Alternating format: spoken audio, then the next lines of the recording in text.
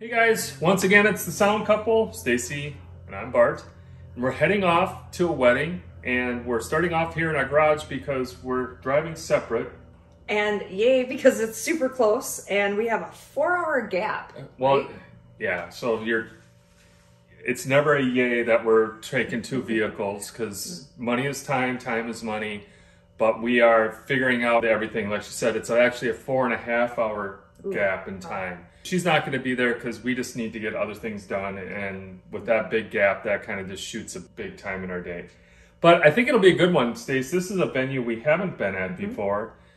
And we do have some questions, and we'll we'll touch on that a little bit later. It's going to midnight, so we'll see how that goes. So that's a clue of what could potentially be an issue with a private venue with a gig that's going to midnight. We're here, and like Stacy mentioned, this was close to our house. I believe that's where we have to load into. One of my sound buddies has a gig here coming up, and I think he mentioned it was one of those longer handicap accessible areas that we load in from. And I think we're in there. So we're gonna, we'll park here and see what the logistics are looking like. But that's what I'm thinking. And Stacy is right behind me somewhere. Hey, there she is. I think it's right there. I think we load in. I think we load in right there. But why don't you just go ahead and park? We'll go in and check it out. Hey, we came in over there. It's looking like we're right in here. Push, push, push. Okay. Nice place. They said there was a power source over here too. Hey, I see a plug on the wall. That nice? It's a 50 amp.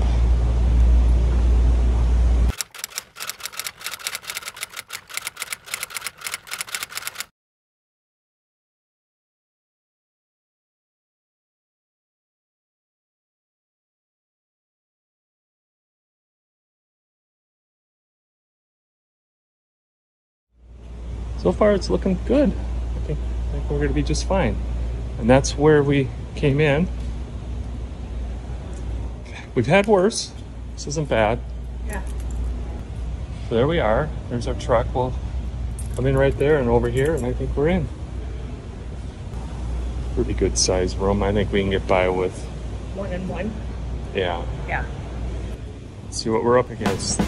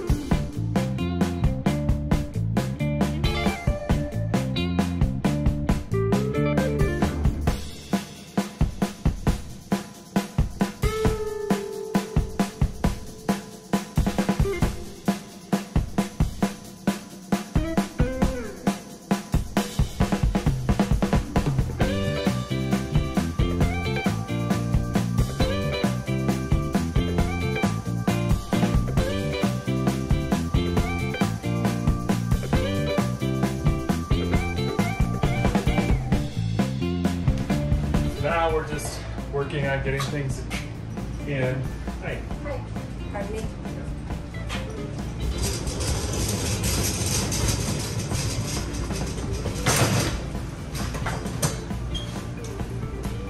We are working on getting things in the door because it's Arizona and we want to limit the amount of time we're leaving doors open.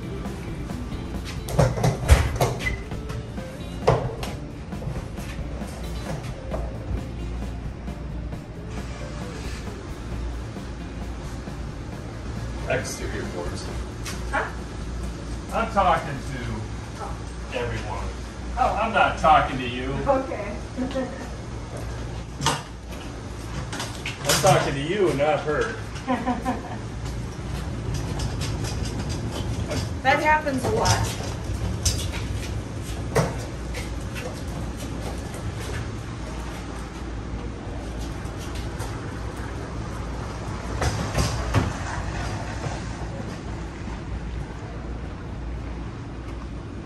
Okay, it is 126. Gotta have this up by four. I Think we'll make it.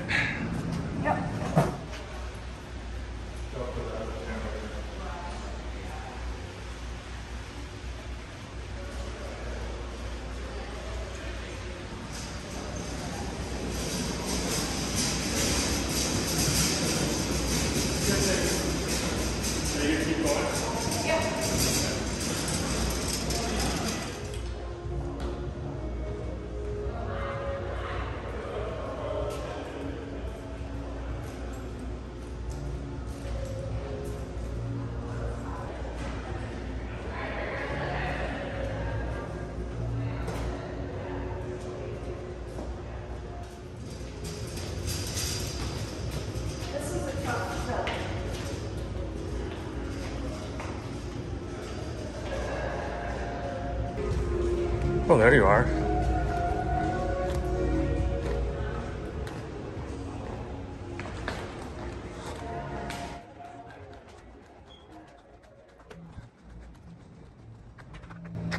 Everybody, it is 145. Hi. Good, how are you?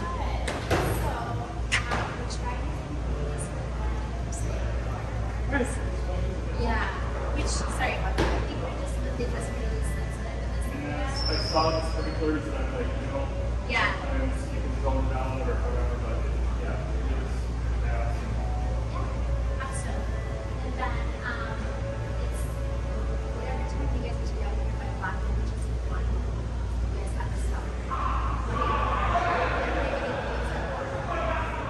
Well, okay, that I don't know. Probably didn't catch much of that, but there was a contradiction in their what their website said and what the band was told and what the wedding planner. We just got it all worked out. They are staying in open an hour later to accommodate the extra time that they wanted and the band to play, and then the time we needed to tear to tear down. So the plan is, it was for their website, 11 o'clock, finished out by 12. Then it went, and then per our information, it was band playing till midnight. We need an hour and a half tear out. And now we just got of confirmed it's going to be 11:30 band quits, and we'll be out by one, so that'll work. We're going to get loaded.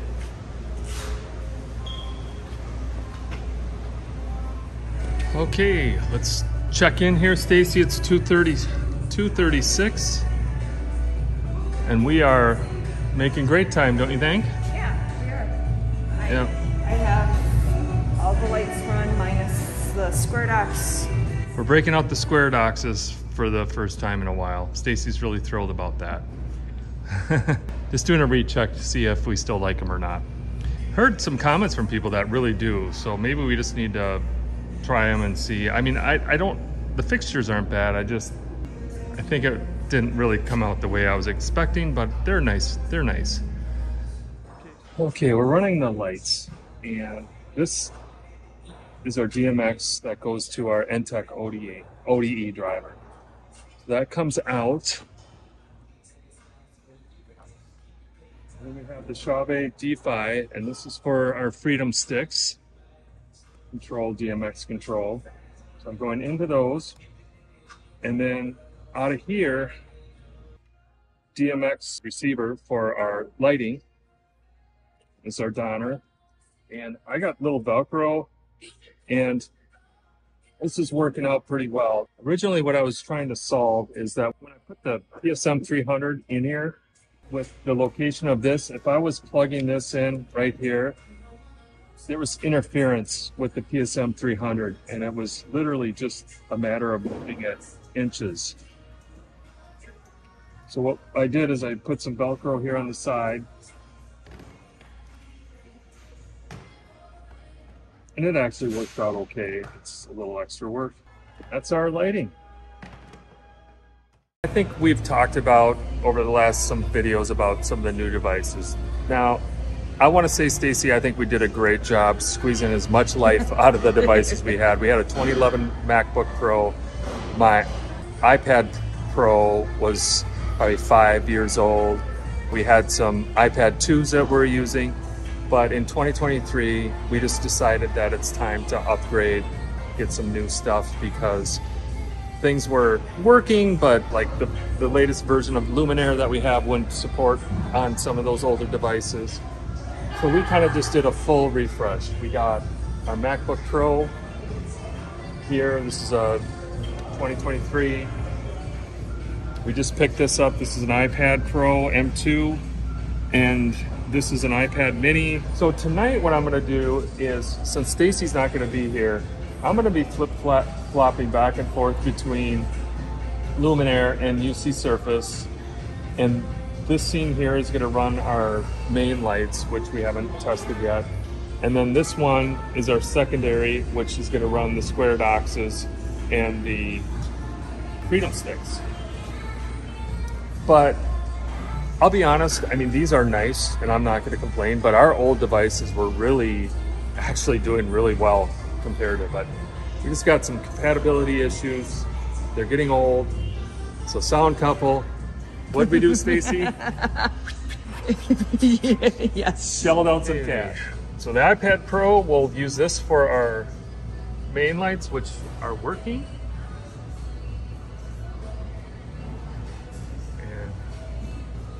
I'm gonna have my hands full a little bit, at least initially, but once this band gets going, they they really do kind of auto mix. So I'm just pushing solos and things like that, and I, I should be fine. I'll probably end up kind of just hanging out here once I kind of get things set out there anyway. Well, Stacy, it's 305. I think we're we're doing really well. I'm gonna fire up the system and test it. Well, we're full of lessons today, and Stacy thinks she's really smart. So, what do you need to share with us, Stacy? Well, when you have a gap in time and you know that your Donner dongles won't last. That's for the people that would even have them. We got right. plenty of people that think we're crazy. I know. Uh, I run a, I run a shorter XLR from the top, so then you don't have to lower and raise to be able to access the thing to turn it on and off. The power switch. Yes. and we're yeah we're at 321, and we don't start for another. Oh, don't even remind me. Yeah. Okay, yeah, we got a we got a ways to go yet. That's okay. This is a I, I got plenty of work to do, and Stacy's got plenty to do at home, and that's why we just accepted it and making the most out of it. 3:35, and Stacy's out the door. Yep, I got a little project to do tonight. Fix, Square docs, cool. Fix a bag and time to wish well, you luck. No, thanks. You're gonna come back at what time? 11 o'clock. 11 o'clock. Yep. All right. So I have seven and a half hours all by myself. Hey, you're gonna close. Oop. We'll see ya. I'm sure somebody would have let me in. have fun.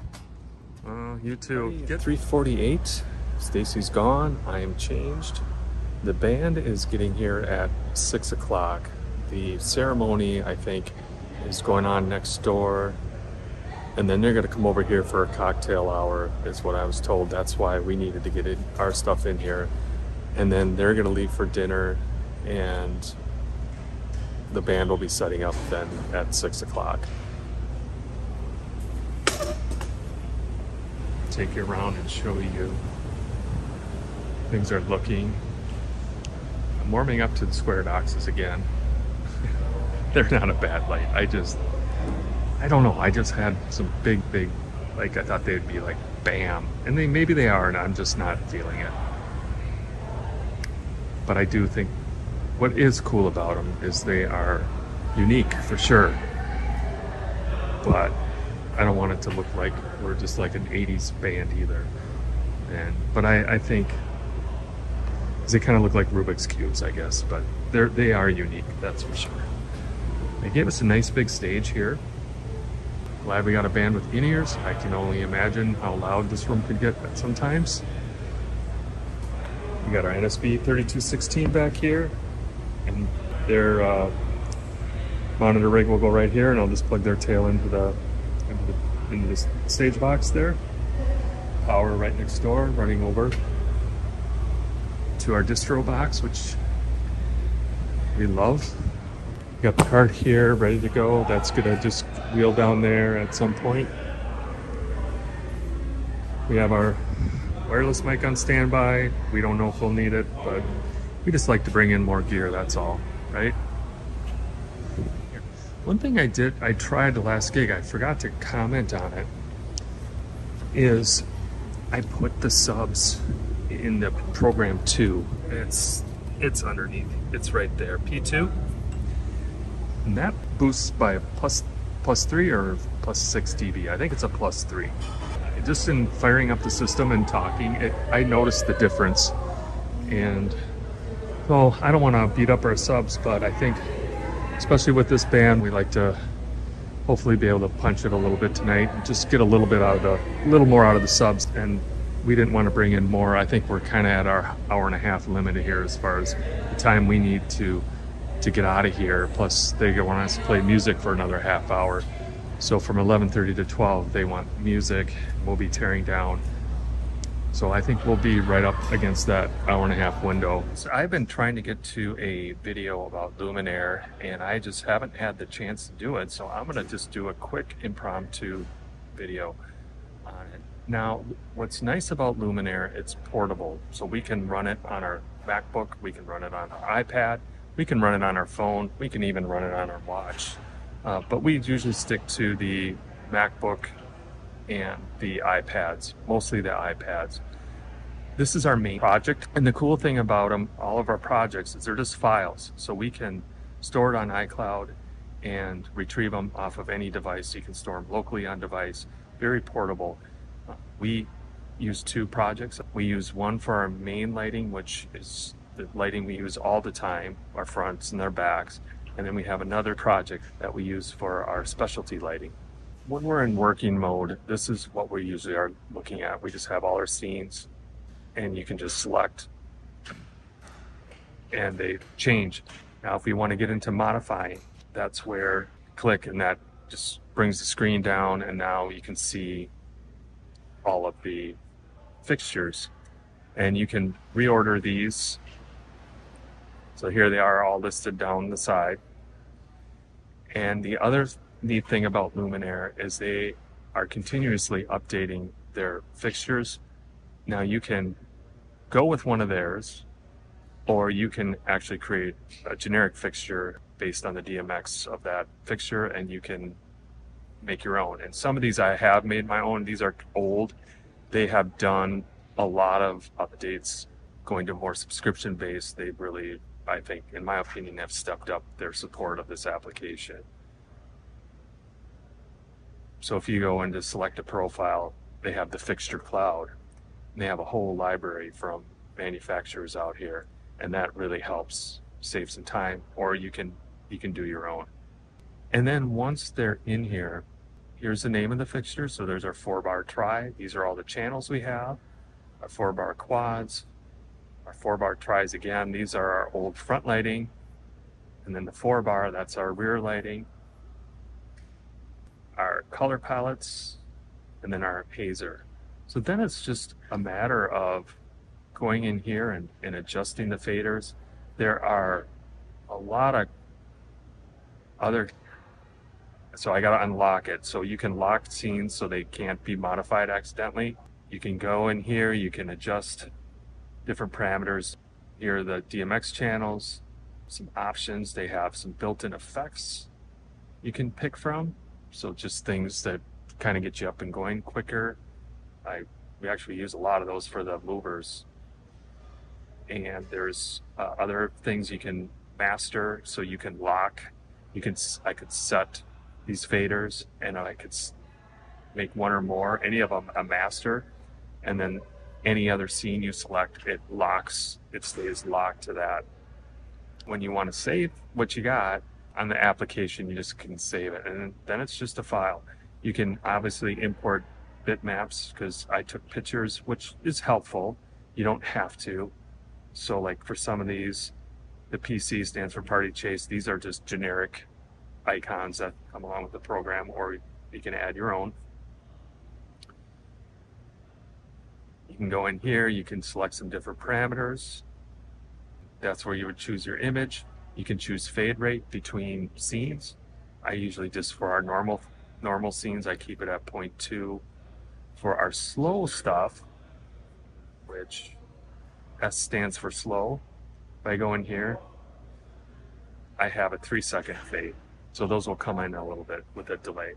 And then up here, we got our blackout, you got intensity. They have a feature where you could push a button, it blacks out all the lights, and then you can make modifications without the lights reacting to that. And that would be hel- helpful if you want to be just testing some things here without the lights actually doing what you're intending on doing. Then when you're ready to flip the lights on, sometimes when you're programming, it can get a little bit fatiguing to have the lights on all the time. If I was going back and doing this from the beginning, I would definitely be using that feature a lot. You can create sequences which are just your scenes that you select, and then you can hit play here and it'll just play through. We love Luminair, everyone. I don't know how many people use it. People have commented, I don't want to say not favorably, but man, this is just powerful. And then to be able to handle hand this off to Stacy and then she's gotten really good at coordinating all these things.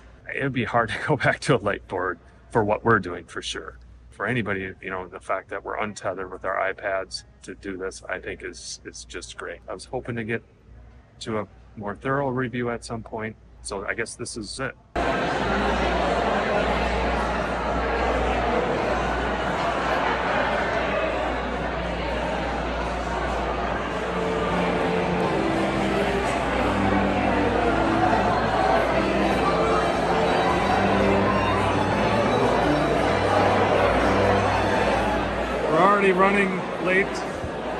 Dinner was supposed to start at 6, or they were supposed to be out of here at 6. Band is setting up.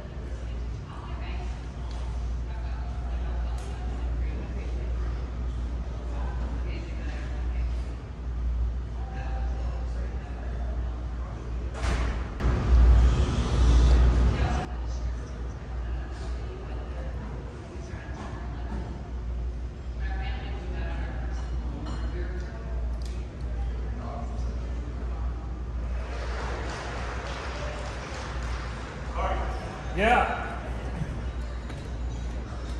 I don't know what happened to our lights. They were working fine earlier. Now they're.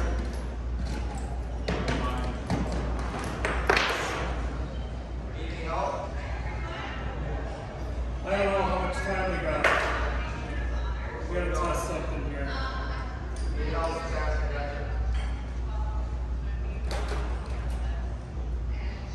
See if this works.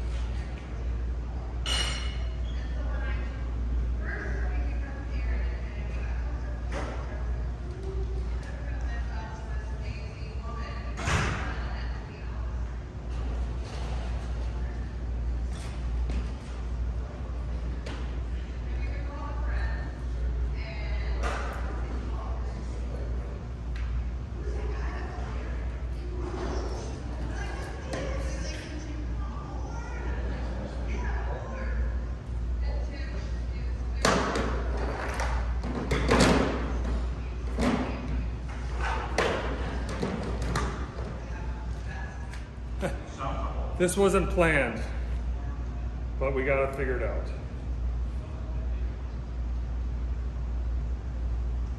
We just don't make things up to have fun.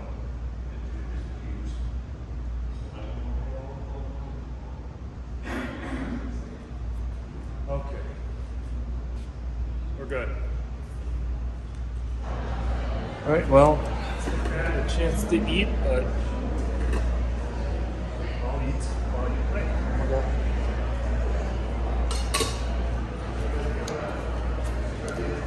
So the issue was that I had Luminair running on the laptop, so I had them running. They were conflicting with each other. That was my bad, big time.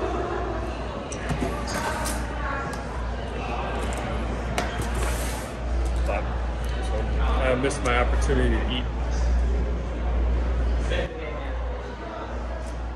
Workout? It, it worked out great. I figured out what happened. Um, they just had a wireless in there, and the RF was all over the place, just when the mic was even turned off.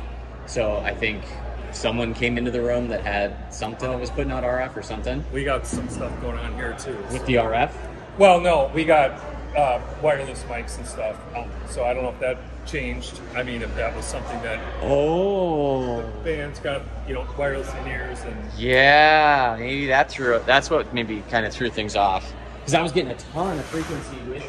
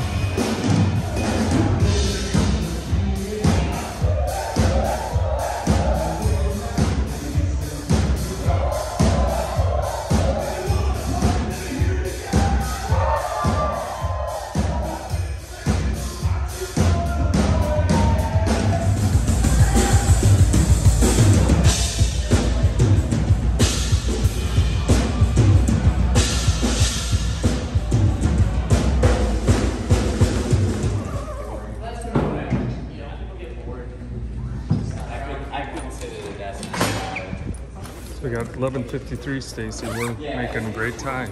Yeah, we are. Andrew Bagard works there though. Oh, really? Yeah. Yeah, that's funny. Cool. Yeah, We're cruising. But they're doing different jobs. We're back together again. Yeah, look, look who showed up. It's uh, 12:37. Woohoo! Hey. We, we ended a little early, but I think, and then the the DJ and stuff didn't didn't go to the full time. They were taking the stage down as we were. there were a lot of people needing to do a lot of things quickly here and get out of here. Yeah. All right, how did it go? Uh, I think I may have captured some stuff. Learning lessons, guys, it just never, never ends. As you know, I did the Luminair tutorial, and typically we only launch Luminair on the devices we're going to use it. Well, what happened is, is I went to fire up the lights and they were flashing, and I found out that I had Luminair running on my laptop still, and that was causing conflicts. Lesson learned. Second thing that happened is we had an NSB 3216 die on us tonight.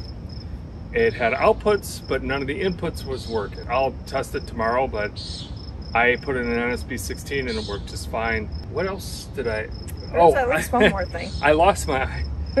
I found it, but the pens I misplaced my Apple I- Pencil. and I and that just is distracting. Uh, and the good thing, you know, there was I think overall the night warmed up. I think the band starting kind of with their typical club set. Not sure what to think about that, but they the, they got into it and everything worked out well. I mixed again from my ears a lot of the night. I had my hands full, Stacy, with the devices. I was trying to kind of figure out, you know, where the best to mix from, and I kind of got settled in with that. But it's a lot to kind of handle, and yeah, I think that's that's about it. I, mean, think it sounded pretty good from when I came Yeah, in, and I and, uh, could hear a little bit outside. here. somebody said the bartender. It's this, these rooms, you guys. But oh, that's what I could say real quick. So, this room does nothing to help anybody as far as the band goes. And so, what do they do? They equalize it. They equalize it. The room is going to sound the way they are, but the band being on in ears, the drummer playing to the room, no amps on stage. We equalized or attempted to equalize the forces that this room was going to get us, and that's what we were able to pull off. I think we were at about 95 dB Oh, wow. when I checked from off the side of the stage, kind of. This is the kind of environments I couldn't imagine being with, with monitors on a stage and people wanting it loud. It would have been just a volume war, keep turning up the monitors, have been there. That, that I, you know, not having to deal with that is like, it's gold. All right, anything else, Stacy? Sorry, Oh. can't say much. I wasn't here. Well, we worked it out. I mean, this was all decisions Yeah. we made, so you could uh, get some things done. All right, everybody. Thank you once again, and Yeah. we will see you guys at the next gig. And we got always got lots of them on the horizon. Good night. Good night. I probably rambled way too long.